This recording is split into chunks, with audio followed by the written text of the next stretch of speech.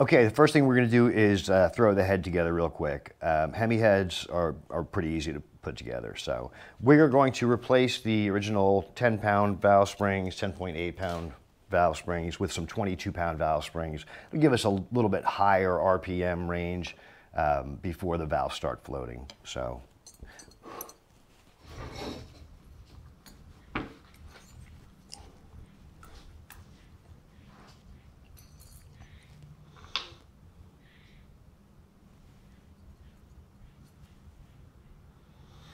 try to if you have, if your retainer has a flat spot on it like this, try to line that up with the um, with the rocker tower. Um, it gives you it'll you know give you a little bit of extra clearance. You won't really need it on a stock lift cam, but um, it's good practice.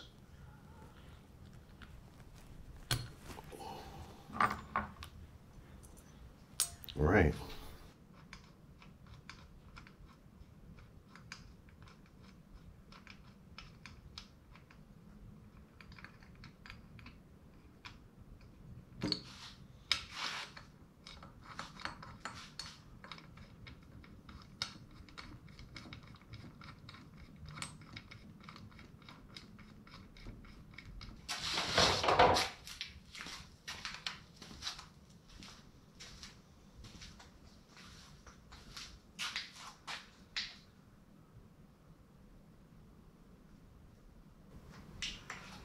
Same deal on the head bolts as the side cover bolts. I go to 150 and then 205.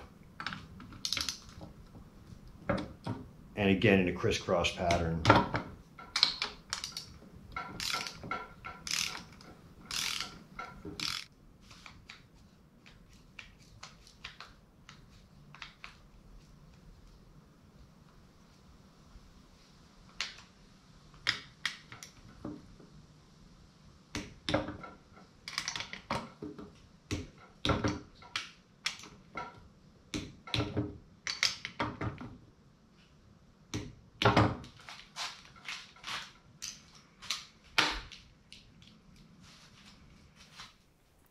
Okay, the last thing we have to do here to button up this long block is install the push rods.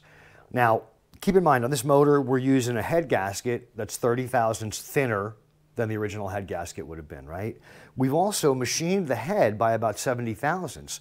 So we've ended up moving the rocker arms 100 thousandths, I mean a tenth of an inch, closer to the block, right? Now, that means we can't use the original push rods because they're meant for rocker arms that are a tenth of an inch away.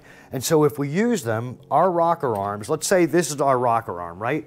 We want the rocker arm to kind of operate like this, right? We don't want it to be like this.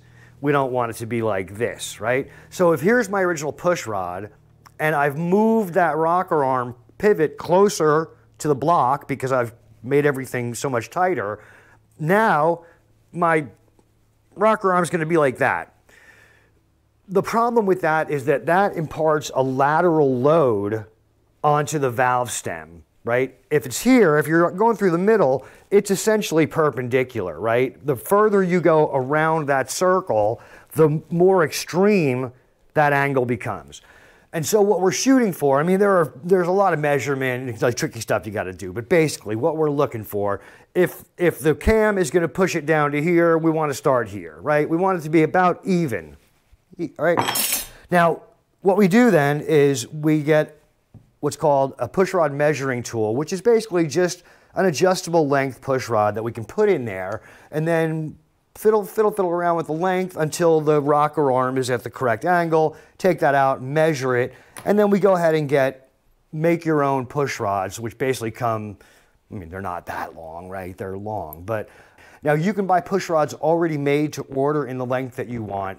Again, just to keep things simple, so I don't have to keep a million push rods here, we just use the cut to length ones. So these have been cut to length. All we got to do is go ahead and slap those in the motor now. So we're to pop out these rocker arm pivots, get the rocker arm out of the way, push rod goes down in there, try to find the top of that lifter, and then it all goes back together again, capturing the push rod in place.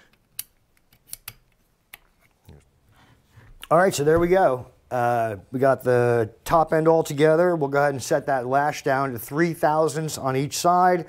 There's a million videos out there. I'm not going to get into how to set valve lash. Um, but uh, that's it. We got one more episode to go on this bad boy. We're going to throw all the furniture on it and uh, fire this thing up because I'm curious, as I'm sure you are, if it's going to work. So let's find out. Join me for the next episode. And as always, you know, thanks.